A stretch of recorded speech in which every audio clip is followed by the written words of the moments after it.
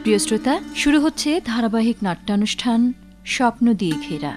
আজ শুনবেন এর দশম পর্ব। রচনা আল আমিন শেখ, প্রযোজনা আব্দুল আজিজ।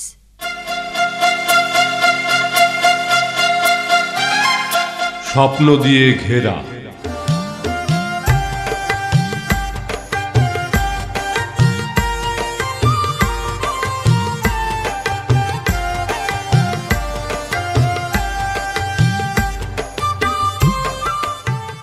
গ্যারামে ঘুরা তোর কেমন লাগল বাপ মা গো আমার কোনো অসুখ নাই। রোকসানাবু আমারে আবার নতুন করে জীবন দিয়া গেল। হ বাজান মাইয়াটা বড় বালা। বাপে থুইয়া গেল তোরে তালা বন্দি কইরা আর মাইয়া এসা তোরে বন্দি থেকে মুক্ত করল। আল্লাহ মাইয়াটারে বাসায় রাখুক। হ মা আজ কত দিন পর গ্রামের রাস্তা দিয়া হাঁটলাম। মা গো গ্রামের বাতাসে ঘুরা বেড়াইলে আমার শরীরে কোনো অসুখ থাকব না। আমি ভালো হয়ে যামু। আমিও তো চাই বাজান তুই ভালো হইয়া যা। সবার লগে মিলামিশা থাক। মা আজ গ্রামে বাইরে আমার মনটা খুব খারাপ হইছে। কেন কেন বাজান? তোর মন খারাপ হয়েছে কেন? মা গো তুমি তো জানো আমি জীবনে একটা সিগারেটও খাই নাই। তুই সিগারেট খাবি কেন বাজান? সিগারেট কি ভালো জিনিস যে খাবি? কিন্তু মা গ্রামের অল্প বয়সী পোলাপানগুলা লুকায়া লুকায়া সিগারেট খায়। কস কি? হ মা। পোলাপান সিগারেট খাইলে নষ্ট হয়ে যাইব। নানা রকম অসুখ বিসুখ হইব। সেই চিন্তা কইরা তুই কি করবি বাজান? যার যার ফুলাপানের দিকে তার তার বাপ মায়ের খেয়াল রাখতে হইব। হ মা সিগারেট হইল নেশার শুরু। পোলাপান বয়সে না বুঝা সিগারেট খাওয়া শুরু করলে তারপর আস্তে আস্তে অন্য সব নেশা করার জিনিস খাইব। মনটা খুব খারাপ হইছে। তুই মন খারাপ করিস না বাজান। চল চল ভাত খাবি চল। হ মা চলো।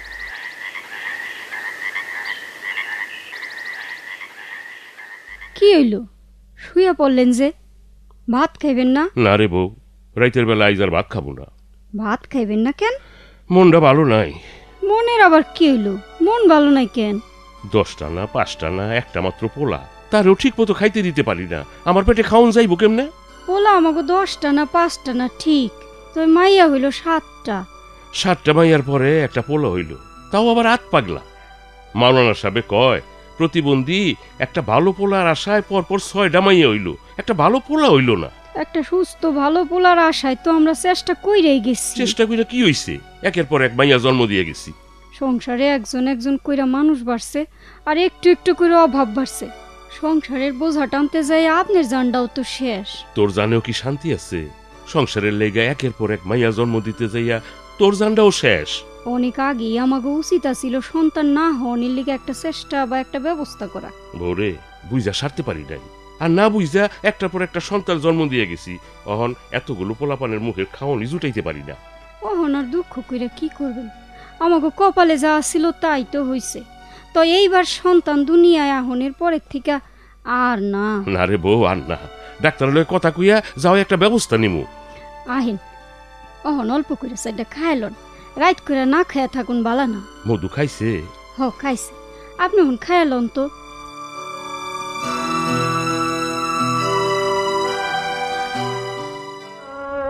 خير من النار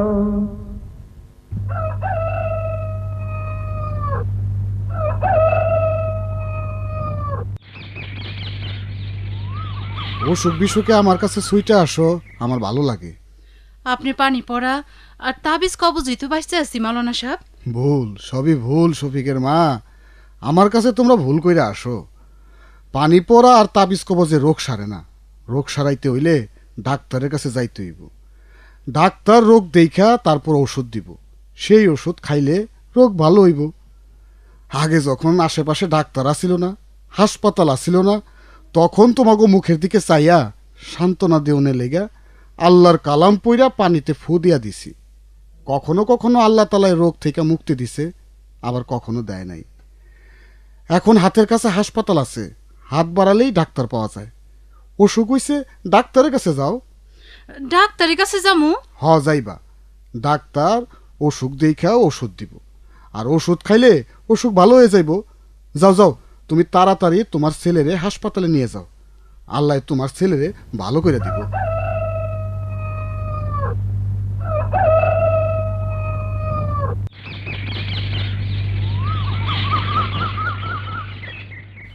আসতে পারি? জি আসুন। হ্যাঁ বলুন। আমি ডাক্তার আলম এখানে জয়েন করতে এসেছি। আপনি ডাক্তার আলম? আরে বসুন বসুন। ইয়ে বেশি ব্যস্ত হবেন না। তা আপনি? আমি ডাক্তার সাবেরা। যাক আপনি আসাতে আমাদের খুব উপকার হলো। কি রকম? একজন ডাক্তার আসাতে আমাদের উপর চাপটা এখন থেকে একটু কম পড়বে। আমরা যে কজন এখানে আছি তাতে ঠিক সব দিক সামলে উঠতে পারছিলাম না। কেন? এখানে কি রোগীর সংখ্যা খুব বেশি নাকি? রোগীর কথা কি বলব বলুন? এখানকার মূল সমস্যাটা হচ্ছে অসচেতনতা। অসচেতনতা? হ্যাঁ আমাদের কাছে প্রতিদিন যত রোগী আসে তার বেশিরভাগই অসচেতন জীবনযাপন করার ফলে সৃষ্ট রোগ নিয়ে আসে। কি রকম? যেমন ধরুন ডায়রিয়া আমাশয় ম্যালেরিয়া আর মেয়েদের গর্ভকালীন সময়ের জটিলতা। গ্রামের মানুষ এখানে শিক্ষার হার কম। তাই তারা সচেতনভাবে জীবনযাপন করতে পারছে না।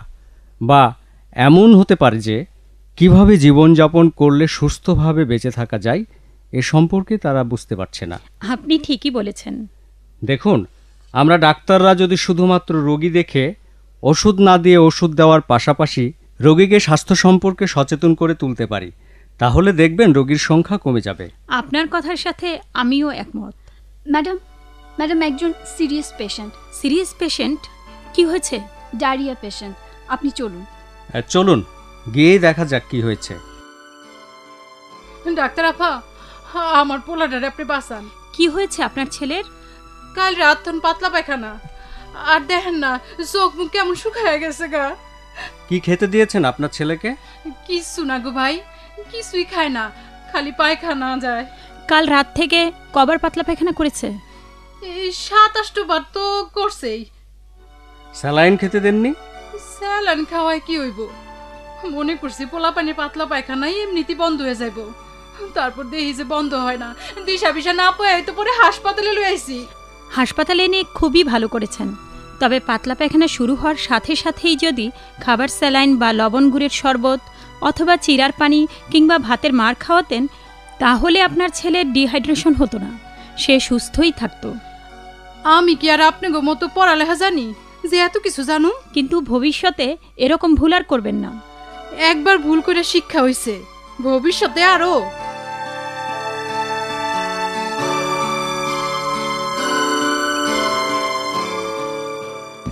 এতে বিভিন্ন চরিত্রে রূপদান করলেন আরিফ মাহমুদুল ইসলাম সেলিম আরিফের মা নাসরিন পাঠান রমজান খন্দকার ইরফান উদ্দিন আহমেদ জরিনা, রাখি রেজা পরিবানু নাহিদ আক্তার মহিলা doctor Nasrin Begum, doctor Alam, Mohammad Abdus Salam, nurse Rabia Khatun.